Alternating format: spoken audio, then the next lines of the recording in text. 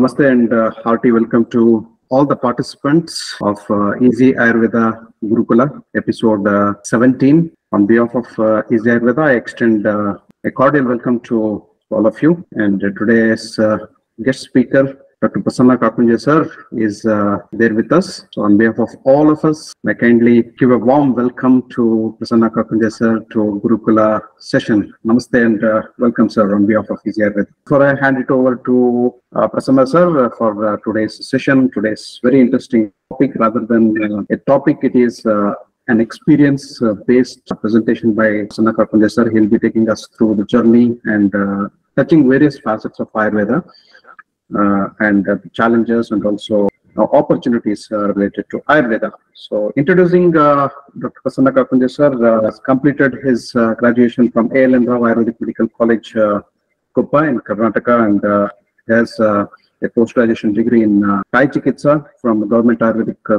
Medical College, Mysore, again Karnataka. So, sir has uh, sir is active in academics and uh, clinical services for the past uh, two decades or so. That's a vast journey, and the journey is successfully going on. So, some uh, part of the professional journey includes uh, being Ayurveda consultant and uh, assistant spa manager at Vivanta by Taj Bekal, uh, was also associate professor uh, in post-graduation department of Kai Chikitsa at ALN Rao Ayurvedic Medical College, uh, Koppa, Ayurvedic consultant at uh, Oriental Spa and uh, Ayurveda Penthouse of Mandarin Oriental, Bangkok, Thailand. So visiting uh, consultant for Amrita Siddhi Ayurveda Health Center in Ubud, Bali, Indonesia, and uh, currently consultant for uh, Gamyam Retreat at uh, Kumta, Karnataka. So, sir has penned down uh, Ayurveda Simplified, a book so which is uh, as uh, the title itself uh, suggests ayurveda has been presented in a simplified way through his experience. And currently uh, prasanna kakunje sir is uh, working as consultant kakunje wellness Mudbidri, karnataka. This is a short intro of uh, our uh, guest speaker with a vast knowledge and experience in academics and also in clinical practice and also wellness. So today's topic is very interesting for all of us. I think we'll enjoy the session. The topic of today will be Ayurveda beyond borders. That itself makes uh, uh, a topic for interesting discussion. Seizing opportunities and overcoming challenges in a global global uh, landscape. Without wasting any time, I hand it over to uh, Prasanna Kakunje sir to take it over. Uh, namaste and welcome once again, and uh, all over to you, Prasanna sir. Thank you. Thank you so much for the elaborate uh, introduction. I introduction I would like to start with a shloka अखण्डमण्डलाकारम् व्याप्तं येन चराचरं दर्शितं येन तस्मै श्रीगुरवे नमः अज्ञानतिमिरान्धस्य ज्ञानाञ्जनशलाकया। चक्षुरुन्मीलितं येन। तस्मै श्रीगुरवे नमः। नमस्ते to all even though doctor programme sir has given me an elaborate description I'll just take you through लिल् bit of background why I'm talking about this, about the topic of global scenario, opportunities, and the challenges. In my journey as a consultant, spa consultant, wellness consultant, and Ayurveda teacher, and definitely a continuous Ayurveda student, continual student of Ayurveda, still learning and understanding how we can implement it in our lives because ayurveda is all about living it not about medicine it's not about you know teaching it's about living it. So in that passion and uh, in that curiosity i'm still a student learning so many things and i know mo most of you agree with this. So in that journey when i was trying how we can popularize ayurveda because it has been there for quite a few thousands of years 5000 6000 we give different numbers but still a lot of Ayurveda doctors ourselves, we are not confident in the science and we ourselves don't use it properly and we don't know how to use it properly and fortunately unfortunately uh, we don't we, don't want to blame anyone but uh, it's even uh, like there are missed links from the gurukula system and so we don't have proper guru uh, who can teach us and show us exactly how to implement it and what exactly acharyas have told us. So we all are kind of in a lab experimenting on ourselves and on our patients or on, a, on the public with our whatever the knowledge we have gained and uh, implementing it. And even with that uh, a portion of ayurveda which we are using still we are successfully treating so many cases and uh, a lot of people getting benefit of it. But still then our own doctors i have come across a lot of doctors who don't have confidence in ayurveda. They keep blaming the science. It's not the science which is at fault but it's our systems. And you know the political system maybe administrative system maybe and uh, all the lost details and co- connections from the past practices and uh, gurus. So that is at fault. So where we are heading? We are competing with the medical science modern medicine or the western medicine and then we are not retaining our originalities and we are not able to cope with that competition.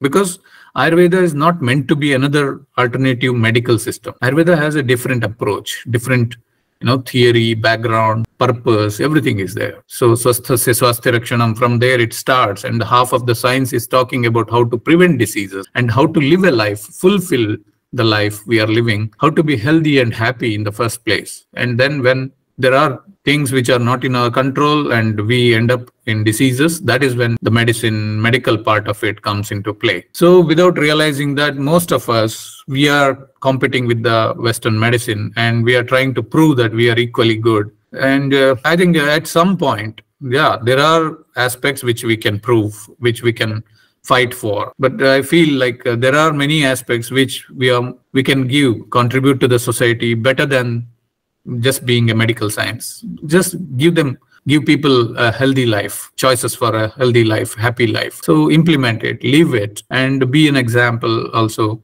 That is what my perspective is. And so to give that uh, these aspects uh, dr raghuram sir has already shared. So why i have to talk about it and uh, what made me come up with this topic.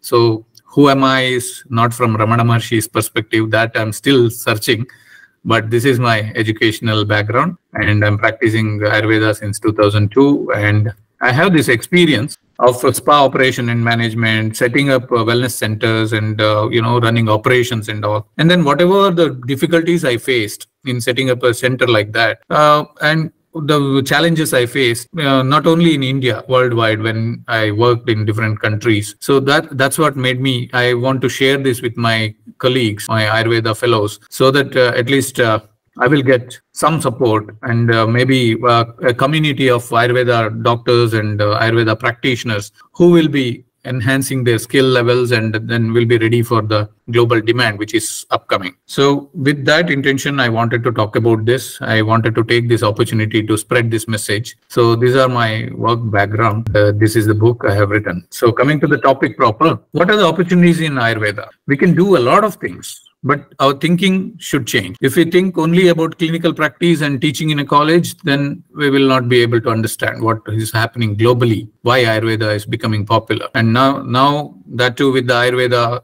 day, you know, yoga day, everything being celebrated worldwide, slowly, and also the global, uh, you know, family being connected worldwide very easily we can communicate and talk to each other the interest in uh, various uh, alternate solutions is increasing worldwide because the western world didn't have these things. But still then, if you see traditional Chinese medicine, TCM, it is one of the recognized systems in the USA and most of the countries. So it is practiced as a, a system of medicine. It is practiced as an alternative medicine also. And they are, you know, regulatory boards also supporting them. So how did they achieve that? Why Ayurveda is still struggling? So we will discuss these aspects. So what are the opportunities? There is awareness and acceptance about holistic health practices like ayurveda yoga you know uh, naturopathy which is a combination of many things and chinese medicine. And every eastern country they have their own traditional medicine system like thai herbal medicine. Indonesia has their own balinese herbal medicine. So there, there are different aspects to it. And that people are looking for. People from australia europe and uh, us they are coming and looking for eastern healing systems because this is more of a healing system, not just a medical system. And it's a way of life that we practice in the East. And medical tourism, if you see, we cannot just say that, okay, ours is only service. We, any service or for that matter, anything that gets popular, we have to look from the commercial aspect also. And marketing is important in everything. Even if it is my small clinic, people have to know about my services. I should be able to market myself well.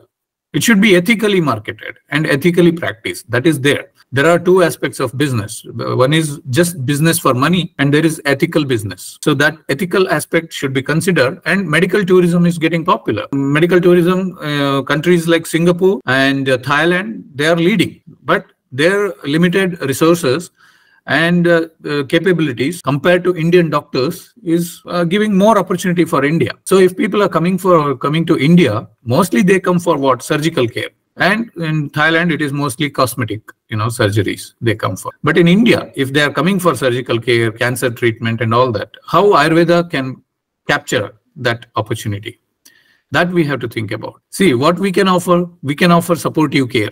We can offer rejuvenative care. We can offer you know detoxification program cleansing and you know we can make them realize the value of protecting our health. And also post-operative cares we can provide. Rehabilitation we can provide. These are all the uh, areas we can start taking a piece of cake from the medical tourism component. So if we want to do that what we need to do that we will discuss in coming slides. And then there is another area. There are a lot of products being launched and uh, propagated, marketed in the name of Ayurveda. But we as Ayurvedic fraternity, are we really in control of what is being sold? Are we really in control of the quality? I mean, we means uh, it may be our regulatory authorities and boards, everything, everything included in the whole system I'm talking about. So is the name Ayurveda being misused? We need to look into that and then we have to ourselves authentic, authoritative people should get into this and produce products which are reliable, uh, authentic, and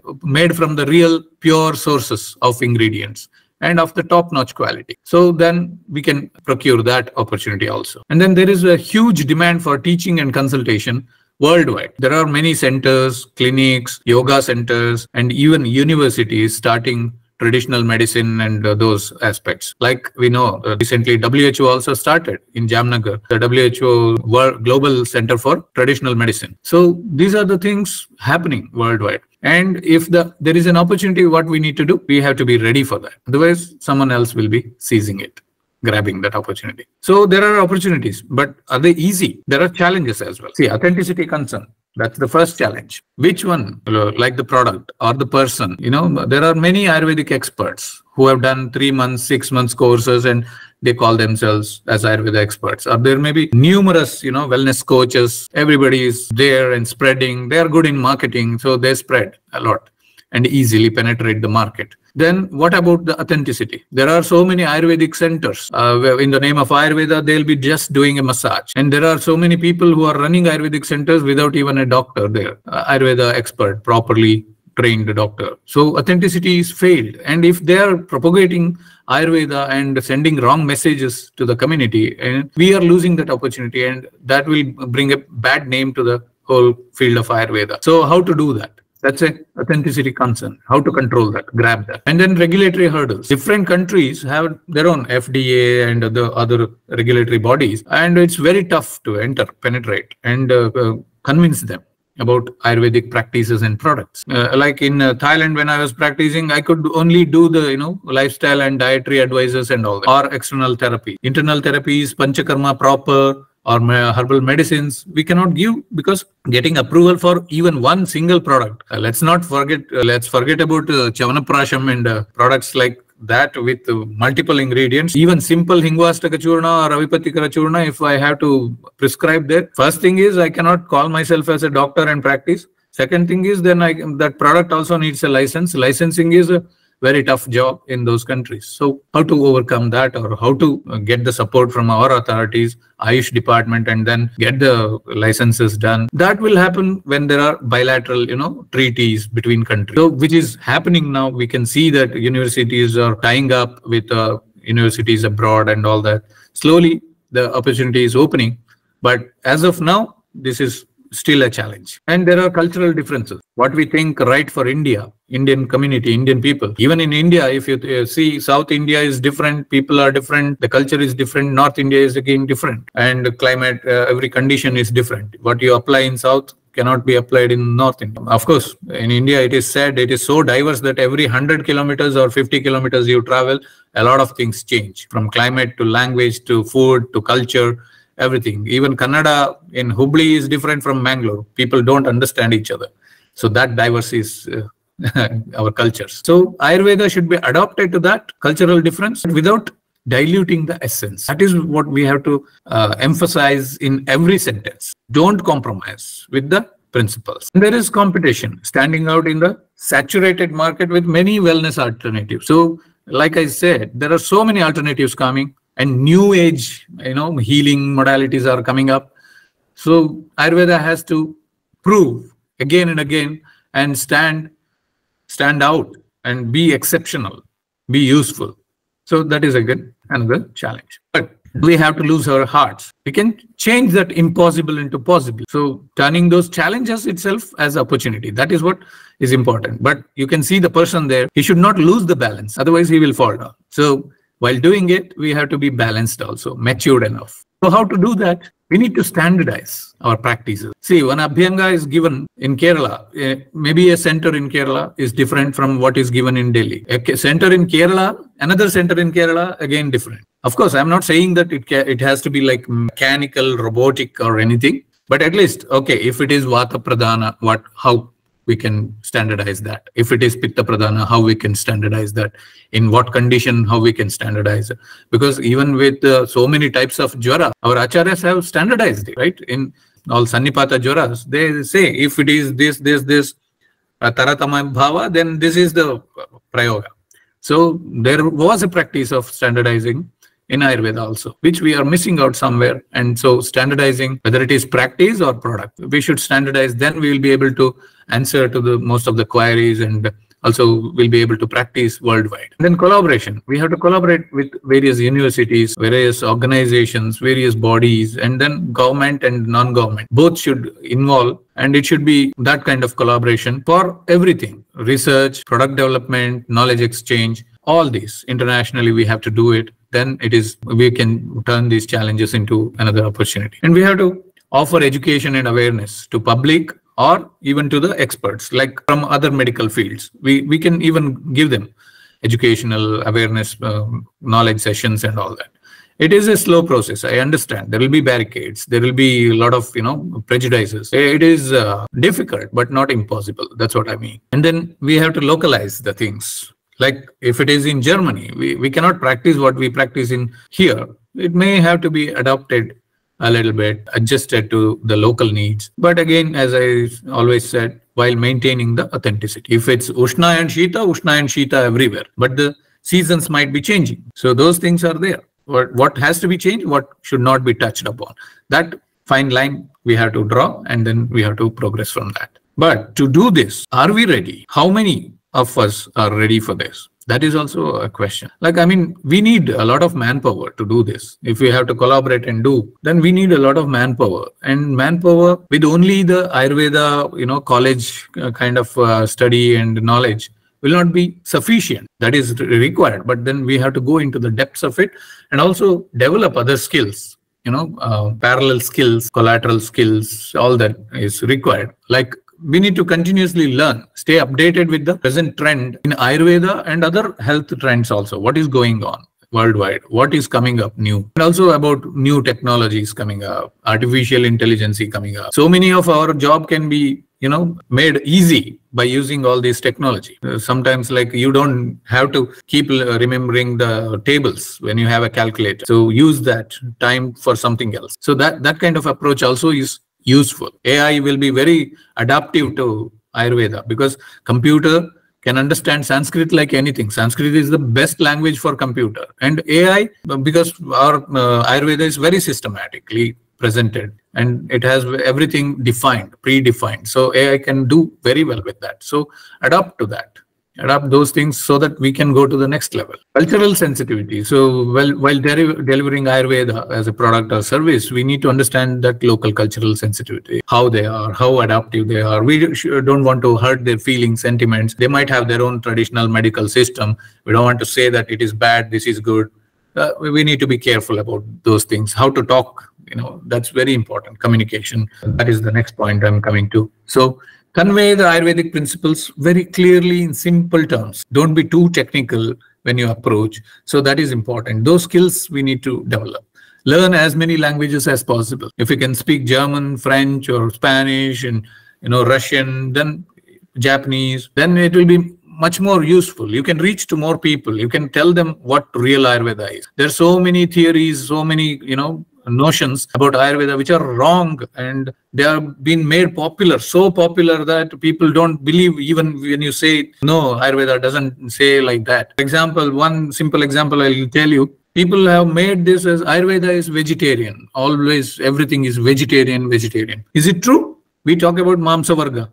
Very clear it is. But where to give, when to give, when not to give, that has to be clearly told. If there is no Vata, Mamsakshaya and Vata Vriddhi, then you don't need Mams. So that is the limitation. And if you are on a sattvic path, or if you are a meditator, if you are in on yogic path, then you don't need Mamsa. But Ayurveda is vegetarianism. Why are we spreading that? So those things we have to make them unlearn and then give them the real knowledge. But with the limitations where it has to be given. Don't say again, oh, you can eat mamsa. Again, that will be conveying wrong message. Where to eat, where not to eat has been told. So that should be stressed upon. That is a to give this we need to develop communication skills. Language is required you know language skills. And quality service with hospitality. This we are missing in many of the places. Like i had seen in many of the centers the doctors working there or owning the center they themselves don't take treatment in their own center because they are not happy to lie down on the table which is oily sticky or smelling and all that. So that quality has to improve. I don't want to blame anybody. It may be their, you know, limitations or the monetary. They'll be charging 100, 200 for an Abhyanga. Then how to, you know, every time clean and get the manpower. They have their own problems. I understand. But at some point, we need to make it like at least basic, you know, sanitary, hygienic levels and those things should be set as a standard. And then um, the, the hospitality you know we can't just say okay i am the doctor i tell you you do this that approach will not work in future i'm telling you because uh, medicine is not only about what we give as you know adravya there is adravya bhuta chikitsa also involved manas is very important component of it so making the mind open is very important in treating and healing. Ancient seers have told it clearly that putravat samapachare. Rogi should be treated as our own son. So with that love and care and affection, you know, empathy, everything should be there in that. So if you have to do that, you need that hospitality touch, warmth, hospitality, care that should be expressed in our you know body language, in our approach, in our language, everything needs. And quality we should never compromise. And then we need to develop this skill of networking, connecting to people globally uh, with everyone and institution. And definitely entrepreneurial skills. To be an entrepreneur is not just like uh, okay you are running a business. If you are doing business for money. No entrepreneur is that one who looks into a, a problem and gives a solution from all the dimensions. He looks into accounts he looks into hr he looks into management operations you know commercials profit and loss everything is looked into. And then he comes up with a better solution. And he always keeps evolving that is what an entrepreneur is. He looks for opportunity and seizes it. So that is required for everyone. Even a doctor sitting in a village clinic, he needs that entrepreneurship because he has to run his own establishment as a clinic. So that is important. We cannot just say that uh, I'm a doctor, I don't know that, I don't know this. Learn everything possible. We need to know accounting, we need to know, you know, technology, we need to know a lot of things. Cooking for Ayurveda, though, even that is important. So we need to know multiple skills. We need to learn all those and become an entrepreneur. That is important. So with all this discussion, if we do a SWOT analysis, what we have strength, weakness, opportunity, and threat. Our strengths are we have a rich history and authenticity of Ayurveda. This no other medical or healing system has. So Ayurveda has got that kind of treasure. So that is our strength. And globally people are accepting it more and more. Everywhere there is an increasing demand. That is our strength. But our weakness, as I said, lack of standardization and potential dilution of authenticity in commercial ventures. We dilute the concept. We say panchakarma, but we are doing only abhyanga or kiri and all that, and we keep calling it as panchakarma such that is one of the examples so we are diluting the concept we and uh, unfortunately one of our client she had been going to some ayurvedic center uh, before and this year she came to us and then she wanted to do proper panchakarma uh, virechana and uh, when we started with uh, you know, Deepanapachana and then Snehapana started, and we had told her that you have to be restricted to the room. You can go around in the room, but you cannot sleep. You can just walk around and uh, read for some time, but don't do it uh, excessively. Don't strain your body or uh, organs excessively. All that was told. Then she was surprised. She started saying like last year i was in such place and before i was in such place. They gave me a, gave me ghee. And then there was a big lake. They asked me to walk around until it was like 4 or 5 kilometers of walk after taking ghee. So I was like, this is how we do, and this is how it has been told in classical texts. So we follow this because if you do that, it is like uh, eating and doing exercise, which is not recommended in uh, Ayurveda or even modern medical science. If you see, eating and doing exercise is not advocated because blood circulation will be diverted and all that. Scientifically, I explained, and then she was convinced, and she did that and got the result. So that that that's where we need to explain to them in simple terms in their language in their way of understanding. Then they will be convinced. But this is what dilution of authenticity is happening in most of the places. And then we have these opportunities medical tourism expansion of ayurvedic products. And what are the threats? Competition and regulatory challenges. If we can overcome that then we can use the strength and opportunities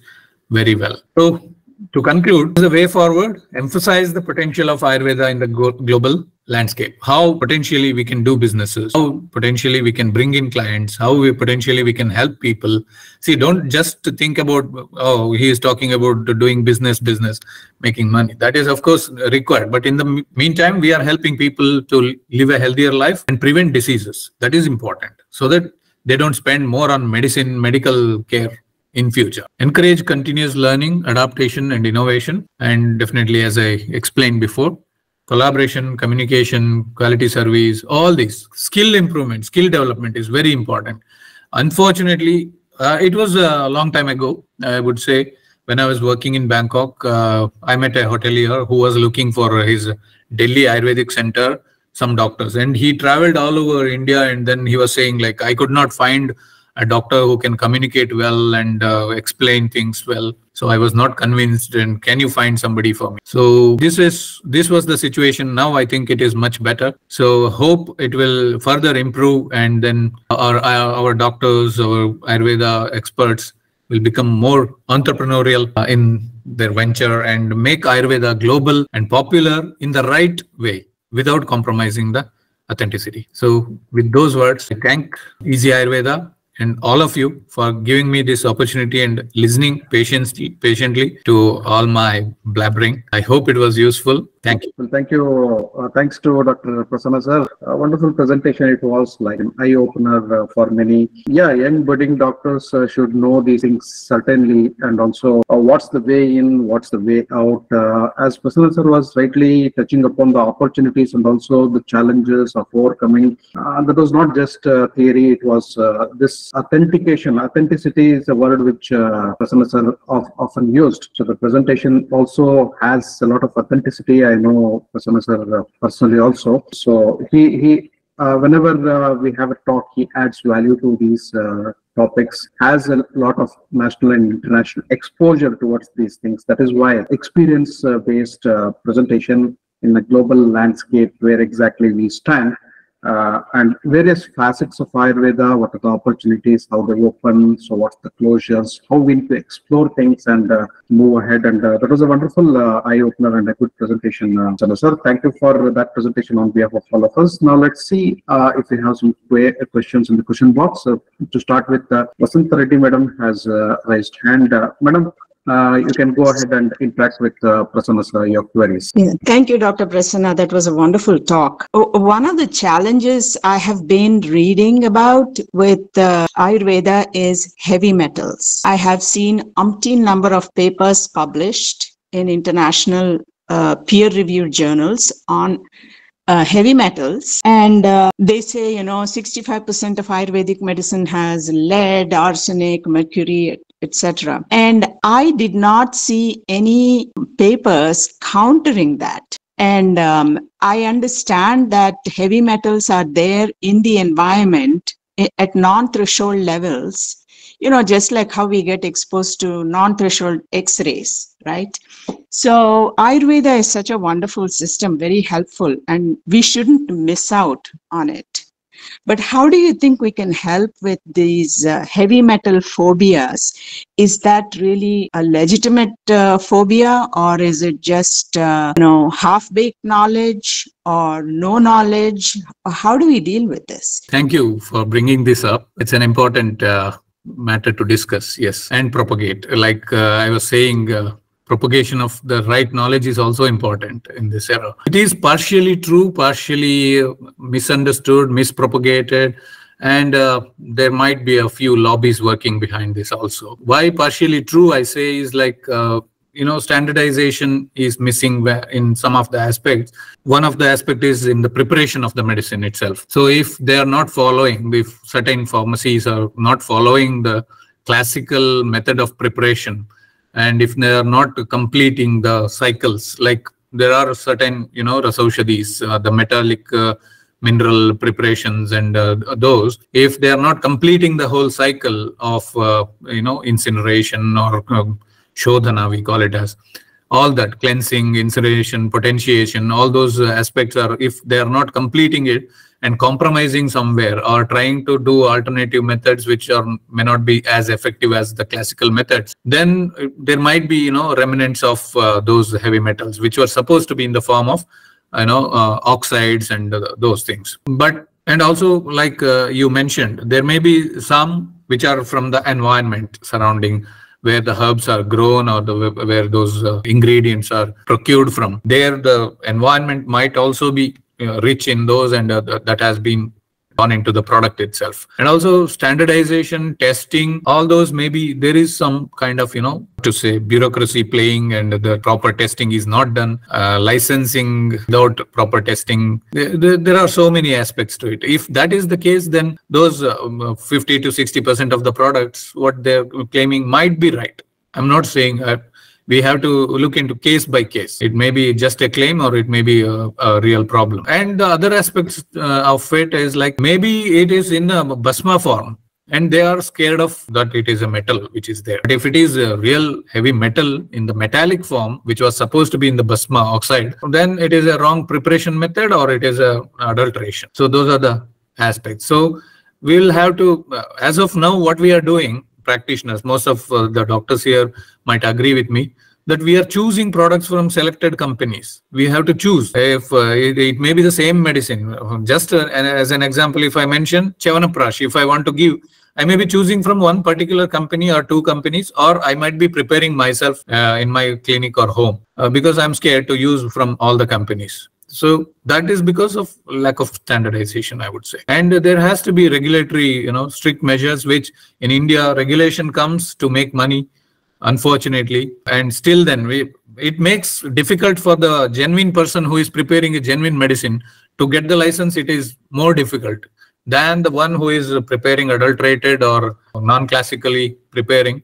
He will be bribe the people and uh, he will get the license easily. So that's that's a problem. Who do you think should do this regulation? Do you think the government should take it up uh, or National Ayurvedic Society people can take it up? Uh, who do you think can do take care of these regulations? Number one. And the standardization you talked about, you know, I think the government should be responsible, the, or the Ayush ministry should be responsible for licensing and ensuring GMPs, etc. Yes. Um, yes. So, uh, having said that, I have another question.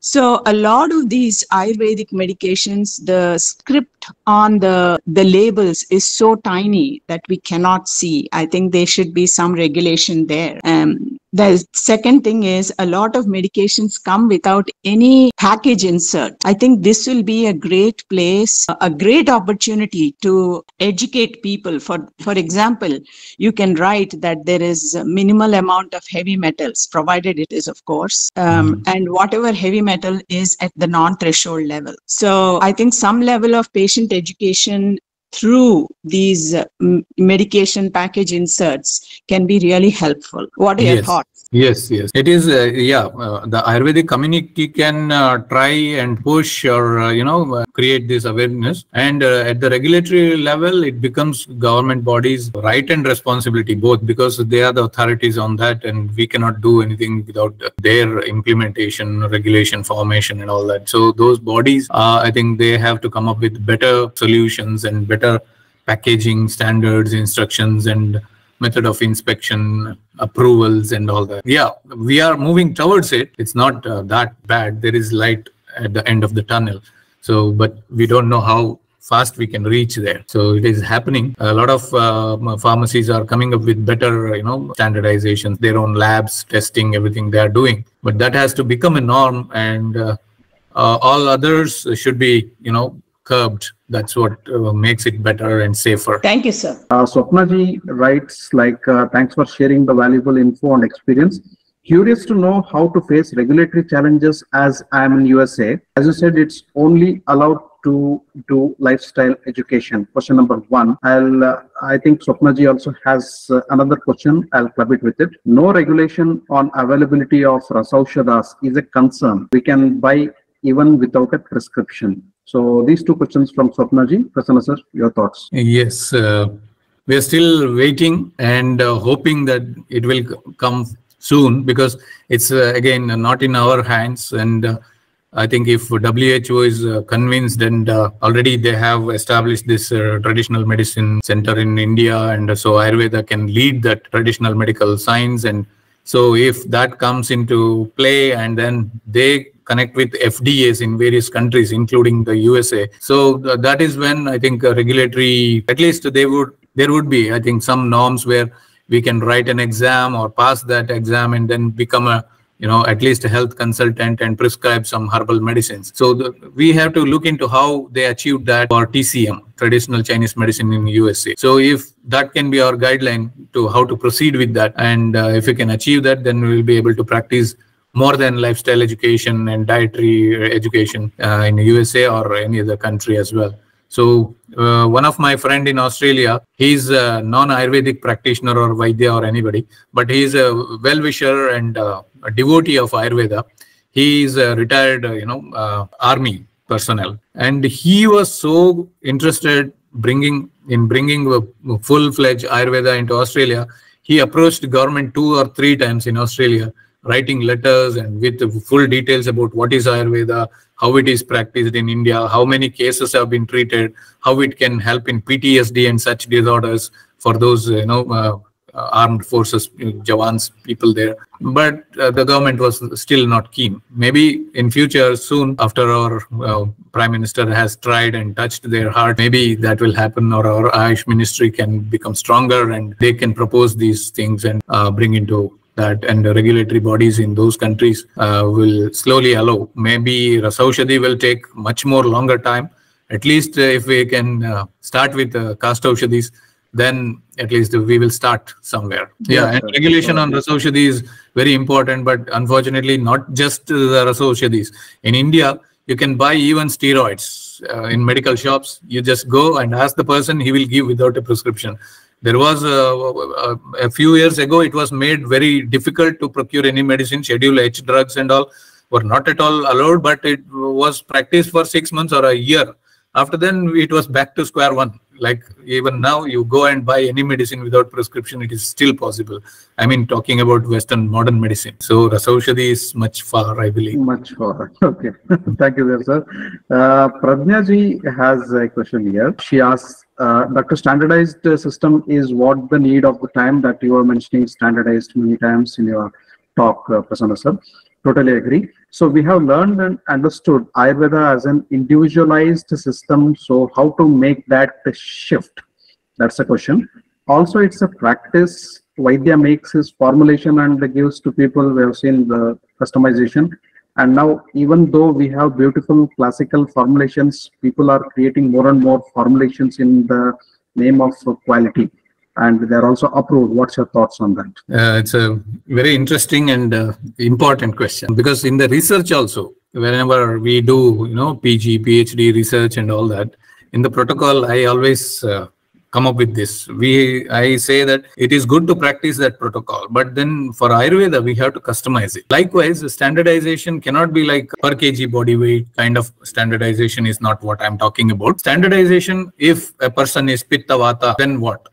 if it is vata pitta then what vata pitta kapha then what such kind of i'm just because prakriti is a very popular topic in western world so i'm talking about this but it's not i'm not limiting to that uh, you can come up with all the you know astavida parikshas and all that. In that you can mention if it is in this condition this is what to be given this is what to be given and all that. So that, that is how the standardization should be. What abhyanga should be how it should be performed at least basic hygiene uh, duration required what are the you know standard oils you can use? Th those are the some of the standardization possible. And uh, it, it is an evolving process. And slowly what is not required or what is in excess that we can start removing. And uh, what is a basic requirement that we can keep as a standard everywhere. And then individualization customization will always be there. But that has to be again standardized you know standardized to customize. So that's the beauty of ayurveda. Like uh, when if you read samhitas say in general this is the treatment line. Chikitsa sutra is this. But if at, uh, let's say jwara is with shwasa then this is the line. If jwara is with atisara this is the line. Jwara is with kasa then this is the line. And you treat kasa in that again you have to see whether it is kaphaja pittaja based on the dosha again they give. So standardization was a practice even in the samhitas. So that is the kind of standardization, not per kg body weight kind of standardization I'm talking about. We don't have to imitate, but we have to be clear on what we are doing. So to do that, and also you are saying creating more and more formulations are coming and uh, it is being approved. That is the commercial, totally commercial aspect of it. But a proper Vaidya with the proper no knowledge of dosha, doshya, and the srotas with the location, sthana and all. Uh, you don't, you may not need more than 10 or 20 medicines. That is how a proper Vaidya can practice. You don't need more than 20 medicines of all, like a few aristas, few kashayas, few churnas and what is you might be keeping. And then some swarasas, you might pick the leaves from the garden and you can treat. Uh, or from the kitchen, you bring something and treat. So that is how it can be practiced. So if there are more and more formulations, that means that we are uh, not very particular. We are not able to diagnose it properly. We are not able to pinpoint where exactly the medicine is required and how much medicine is required. So I think it's not uh, happening in a day or two, but it takes time. Uh, we need to educate our, you know, future generations properly, and then we ourselves have to be convinced about pinpointing the diagnosis. Then we may not need so many medicines. So that's what I'm well, well said, sir. Uh, thank you. There, a similar question uh, of uh, the similar magnitude again, Mara Kaminsky has a question there again about standardization. Uh, so this question often uh, many people get, even the Ayurveda uh, people are working on it. so as you rightly said, there is customization in standardization and standardization in customization. Ayurveda is very popular in presenting Samanya and uh, Vishishta Chikitsa in its own and everything has been very neatly written in the classics again, we need to refer those things, know, have the knowledge and apply. The applied aspect is very important. Uh, how easy or how difficult it is uh, to standardize Ayurveda uh, and to what extent it can be done. So that's the question from Mara Kuminski. Uh, same thing you have answered. Uh, let's see if there is something uh, else to the question. So again, uh, question has an addition because it is said that there are as many prakrutis as there are people. Again, we are speaking about permutations and combinations of the individuals according to Ayurveda.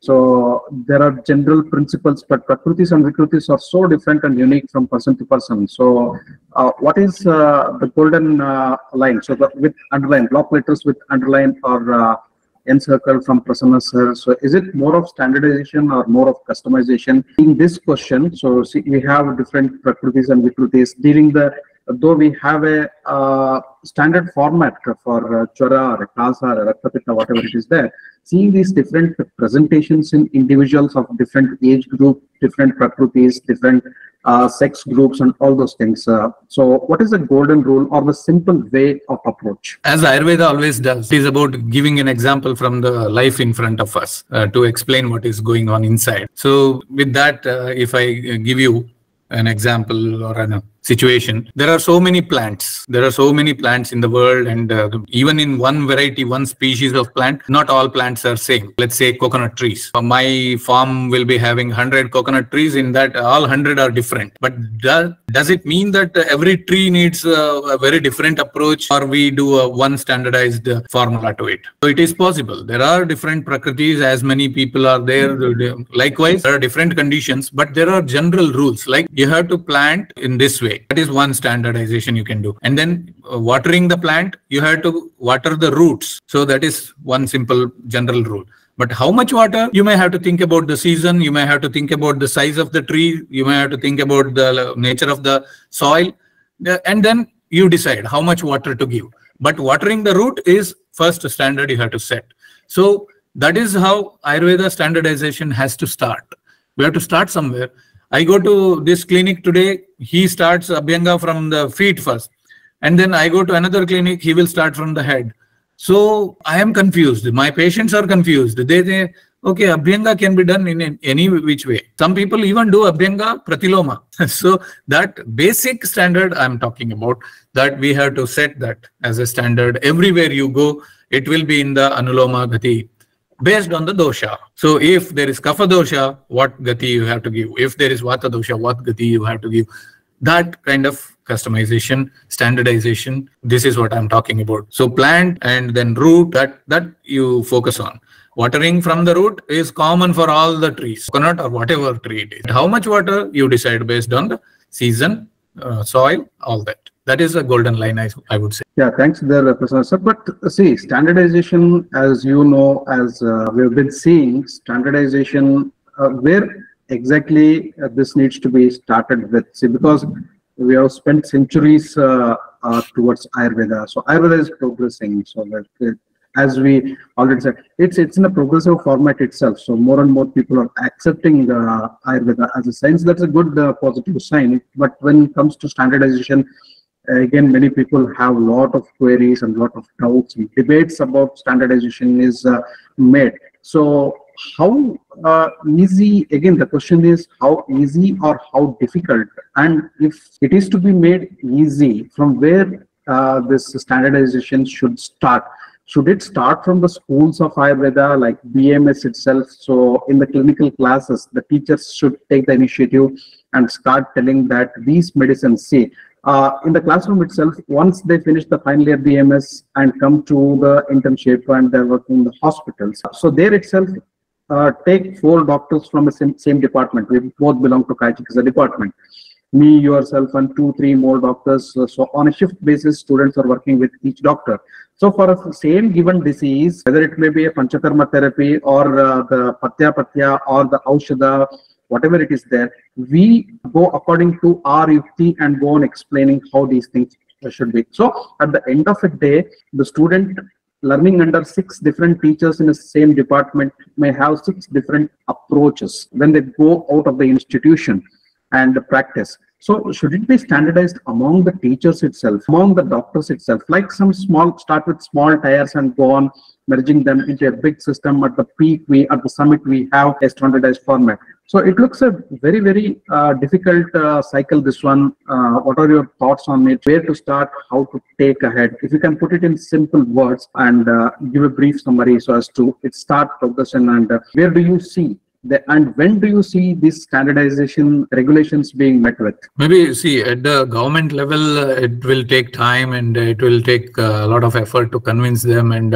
implement things. So like-minded people like this group or Easy Ayurveda or Ayurveda Simplified or such groups of like-minded people can gather and start uh, putting down uh, these things, you know, noting down uh, where and all, uh, backed by the classical texts. That is when we can substantiate it, like uh, how it has been not told in the classical text.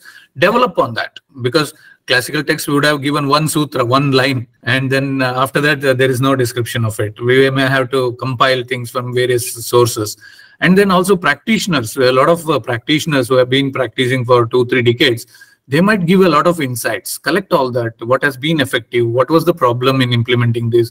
Those things we need to collect and uh, you know document start documenting it. Uh, the basics we set as a standard. Then maybe another group will get in interested. We exchange that thought. Maybe it should be like an open source like wikipedia. We can create an ayurveda wikipedia uh, and then uh, share it. But someone has to be controlling that. Like uh, wikipedia you cannot write anything and everything. They will approve it they have to scrutinize and then approve it. So maybe a platform like that can be created use the technology and then collaborate collective effort and uh, maybe everybody can contribute and in that uh, we can uh, you know regulate and create a wealth of knowledge. And then that is easily open source so anybody can use it. So our samhitas have been open source always. So i believe in that. So let knowledge flow everywhere. Let knowledge come from everywhere so with that approach, I think we can start working. Absolutely, sir. So things need to be started at the grassroots levels and grassroots itself are many. And uh, so choosing which grassroots to start with is difficult. Again, uh, it's it's difficult but not impossible, as you rightly said. We need to uh, like uh, who should bell the cat so that somebody should take the initiation. So rightly said, Kajalji has uh, I think a thought, so rather than a question. Pharmacies like Dhootapapeshwar provide package inserts in all their medicines. I think it's related to the talk given by, uh, like the question by Vasanta Reddy Madam. So like uh, the, the, things are visible in a, a minute way.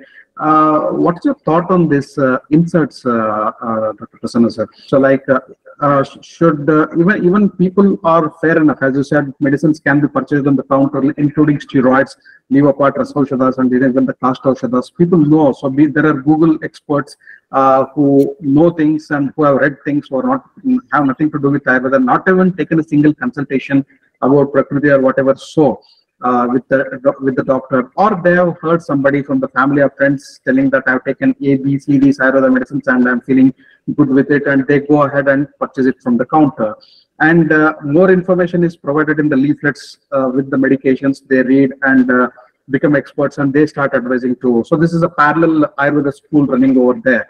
So what's your thoughts on that? No, I'm not uh, endorsing any company here, but the practices uh, from Dhootapapeshwar is something I consider like a, a good step towards uh, standardization because they don't just give it like a, a, a, medicine with no proper information. They give classical reference and description and then complete uh, information that is meant for medical practitioners actually but uh, somehow because it is going into the bottle so i think it is uh, going into the hands of the patient also in a way it is good to educate them and uh, we cannot control the google doctors google you know knowledge that we cannot control. But uh, what we can implement is uh, yeah, improve include this kind of information inserts more and more information on the product as much information as possible on the you know do's and don'ts especially that that we need to include in the medicines. And uh, give a clarity on and write in bold terms that this has to be taken with the medical prescription from an Ayurveda doctor. That has to be written. Uh, of course, anything written, uh, it's not mandatory that they follow it, but still, it is our duty to do it. You can only warn them. Apart from that, you cannot stop them. You know, they should understand. Regarding the standardization, uh, I think it's a very a difficult thing to happen. There has to be a political lobby for it, and also uh, ha- have national conferences where you you have the focus on standardization uh, in ayurveda be done. And that way uh, you know as a collective I- intellect you come up with uh, these standardizations. Otherwise you know just communicating with students or communicating between uh, peer uh, doctors may not be uh, sufficient that's that's what i wanted to say. Yes th- th- that's true but uh, we have to start somewhere and uh, so maybe this will be inspiration to the government bodies to do something about it or maybe at least a few centers will start doing it you know at least a few centers will uh, be in the same standard wherever they go they will see that this basic is followed everywhere. It becomes popular and then maybe the government bodies will be pushed to do it So that is our inspiration here, positive note. Absolutely, sir. Small small initiations can make a big difference and also game changes uh, many times. So let's see where uh, this goes. So far, uh, we are having a healthy discussion on this. Uh, Jay Raghuji has a question. I remember Dr. Gururaja sir quoting Gururaja sir. Jay Raghuji tells saying when bhasma is given, the anupana or medicines with the bhasma get the bhasma out of the body after its action has been completed. Uh, I think that knowledge needs to be spread. Your thoughts on that, sir? Yes, that is one possibility because uh, like uh, the uh, bhasmas are used as carrier for the uh, medicine, herbal medicine uh, molecules. So that is one of the theories and uh, you know assumptions we take it. Uh, but again, uh, that knowledge needs to be spread and uh, with the right you know evidence for that. if we are talking about it, then we'll have to show some evidence for that. So yeah, tissue study, culture study, or you know nowadays um, all the technology we can use and maybe we can even show where the molecule is moving and which cells or tissues it is acting and then the excretion of it happening if we can do a study like that and show it with the proof yes we can do that yeah, thanks there, Prasanna sir. Again, uh, Pragati Shetty has a question here. Uh, so, as you were mentioning certain loopholes and also some limitations uh, which are there, uh, because of these loopholes itself, the Western uh, system is considering Ayurveda as a pseudoscience. Uh, what's your thoughts on this and uh, how to go about this? Do we have any control on those thoughts? um, yeah, that is a very vast topic in itself, pseudoscience and uh, Wikipedia itself quoting Ayurveda as a pseudoscience and even Dr. Ram Manohar sir, my, uh, I respect him a lot. Uh, he is also trying and writing about it and uh, he has uh, written a letter to Wikipedia Foundation also, I believe and th those efforts are going on parallelly but it is not only because of the loopholes or our weaknesses it is because of the you know uh, uh, we are not uh, presenting it in the right way which can be the loophole we are talking about here. And also uh, there might be a few lobbies working against ayurveda becoming the biggest uh, you know opportunity holder in the global herbal market. The herbal market is the thing. It's a few billions of uh, dollars industry in which uh, TCM is also fighting and uh, their own naturopathy and other herbal medicines are fighting. So that is where I think uh, that has been quoted. Thank you, sir. And a couple of uh, thoughts coming the way. Again, Vasanta Reddy, madam, I'll just read out, uh, written some words which are important. Developing algorithms for individualization and kept in a database can probably contribute to standardization and use. Yes, this, uh, however, may have to be done by a national body for authenticity and harmonization of uh, treatments. Yes, it's a big chain uh, which needs to operate at different levels. Dr. Madhav Diggavi, sir, uh, compliments good presentation, sir. Congratulations. Yes, standardize uh, to customize. Samhita are standardized, but uh, current market problems are very peculiar and challenging, prescription-based Ayurvedic practice is difficult. Prescription-based Ayurvedic practice is difficult. Yeah. sir. Yes, uh, that, that is where I said like uh, when we try to compete with the modern medicine medical system and trying to prove that we are better than the modern medicine or any competition in that uh, and trying to fit into those uh, you know uh, molds that is where we might uh, face the problem. If we think that we are a life science and we are uh, here to you know teach how to live. And um, i always say ayurveda need not be learned only by doctors or aspiring doctors especially the first part of ayurveda is for everybody all common people all people should learn especially mothers should learn this and teach to their kids. And then that is how we will build a healthy generation which pharma world will not accept that uh, healthy generation is there and uh, pharmaceutical companies have to close down their billions trillions of dollar industry. So that is where uh, uh, we have to change our approach. And also we need to create this kind of awareness that ayurveda is not just for you when you are sick we, i'm not a doctor uh, running a clinic only when you are sick i'm here to teach you about life how to be healthy and happy so that is that is where Ayurveda comes into. Thank then prescription-based uh, practice will not be there, and so that won't be difficult. Right, sir. Uh, Inquiry Eha has uh, raised the hand. Please go ahead and ask. So, doctor, you just said that the the the pharma industry is you know uh, threatened by our thing. But I also feel like in our Ayurveda, now it's becoming like a pharma industry. People are, so many companies are coming up with the Ayurvedic formulation. Even like some of the people who comes here and they bring their sample and they wanted to sell something which they don't know how they've made. So how does that can be controlled? Because we don't know. We are sitting here in US we don't know how they've been made there. Who how can we trust that also? Because it is becoming a pharma industry here for with ayurvedic medicine also. There are so many companies come up. So i wanted to know how do we recognize what is the best and how how they are making? Or what the products are they using correct way of making it or not otherwise it will be like a pharma. We don't know we just prescribe. Yes that is where uh, again this applies there. When we try to be become becoming an you know another medical industry that's when uh, the pharmacies will become another pharma you know first place they are calling themselves as pharma only. Uh, even herbal ayurvedic pharma they call it as.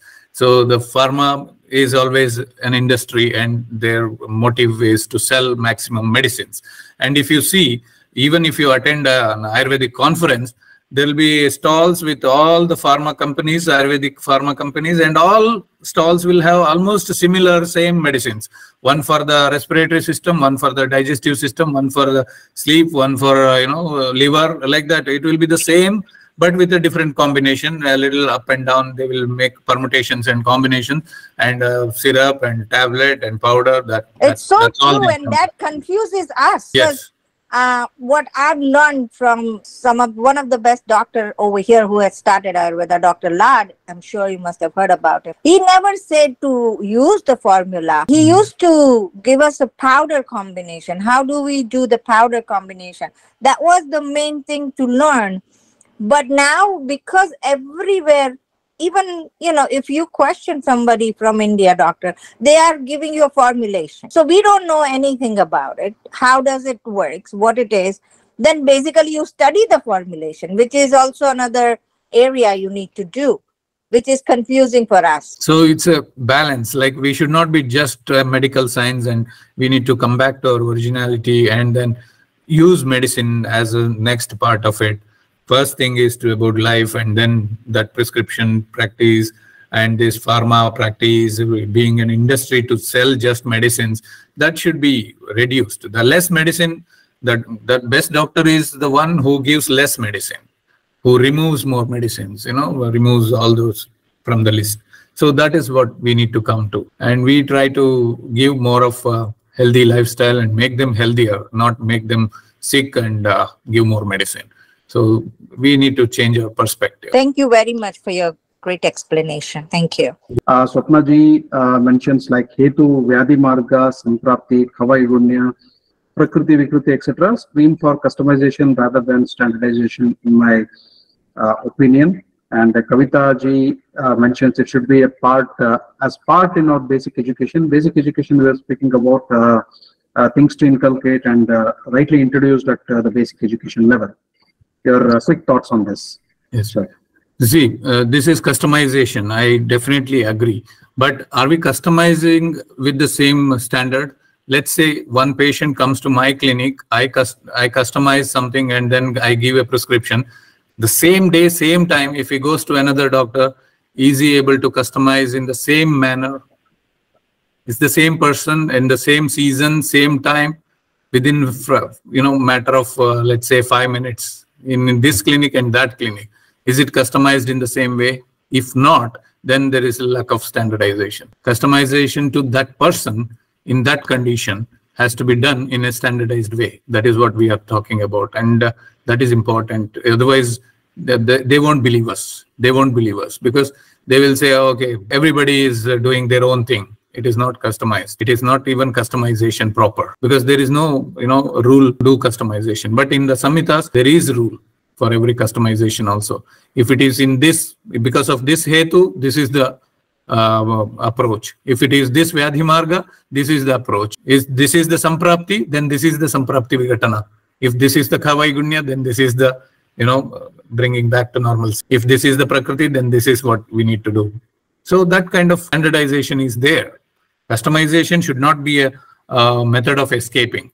So that's what I mean to say.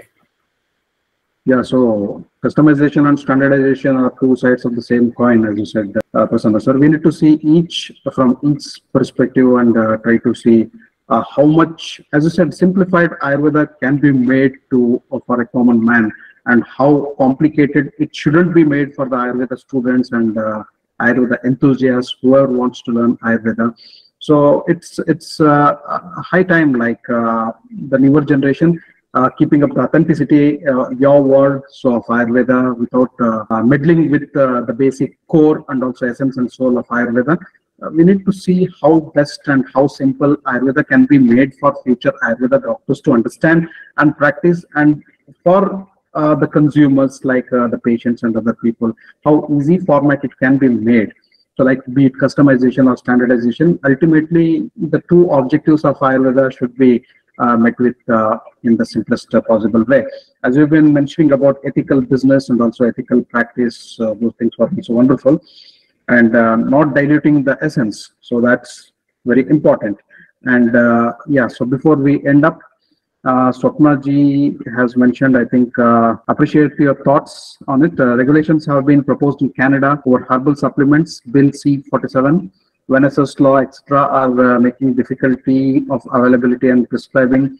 Appreciating your uh, thoughts on it. Uh, appreciate your thoughts on it. Yeah, Last- because some Yeah. some batch of medicine might be wrong and it has been detected with those you know wrongful contaminants and all that. So uh, what happens is the even the right medicines get hindrance and uh, all the uh, troubles entering the market. So that is a pain coming with uh, you know uh, the, those malpractices done by somebody. Somebody's mistake, someone else is paying. So that is bound to happen because one batch of coffee was exported to US very long back, and in that uh, the very low quality coffee was there. And then after that, I think for five or ten years they were not importing coffee at all from here. So that is how it affects. So that is where uh, it should be controlled within. Then, while exporting, the good quality medicine will go there, and there will not be any problem. And then we will be able to procure medicines easier. So uh, time has to answer it, and I think uh, collaborations of governments and non-government organizations all together can answer this. But uh, first of all, uh, in this customization and standardization, we should be open enough to accept that I don't know to say that I don't know. Maybe I'm lacking it. I will learn. I will do it. So that's when I think we will start somewhere. Otherwise, if I think that I know everything and I am what I do is the best and I am standardized, then I think we will go nowhere. We will still be in our own cages. So open up and uh, accept that we don't know. And then that's when it will start. Absolutely, sir. I know everything is a point of saturation and uh, nothing saturates. Nothing is uh, statistically 100% accurate. So it's a learning process, uh, be it a teacher, be it a uh, student, whoever it is there. So I'll refer and tell, I don't know this. Uh, so let me see uh, if I can help you in some way. Or even better is referral. So if, if it doesn't belong to my department, I shall refer it to another department. So the egoism should be uh, cut short there. So like uh, we need to be open enough to accept so that uh, we are not master of everything. So that that is also uh, a good approach. So thanks uh, there sir. And uh, to sum it up so at the end of uh, the session it was a wonderful brainstorming session uh, after a thought-provoking presentation from Prasanna sir on Ayurveda, really taking Ayurveda, Ayurveda beyond borders, uh, having different Ayurveda through different lenses uh, with uh, sir's presentation in India, outside India, what are the opportunities and uh, what are the challenges in the global uh, landscape as uh, the title uh, suggests. So it was a comprehensive topic and the need of the hour for us all to discuss this particular topic. And uh, a big thanks to Prasanna sir, so from uh, Easy Ayurveda, Team Easy Ayurveda and Family Easy Ayurveda and from all the participants for such uh, a wonderful presentation. Uh, thank you and a big thanks uh, once again from all of us, Prasanna sir. Thank you so much. Sarve Bhavantu Sukhina. Thank you. Thank you, sir. Thank you for those wishes uh, for uh, the well-being of all of us. And uh, big thanks again to all the participants and Easy Air Ayurveda family. And namaste to all.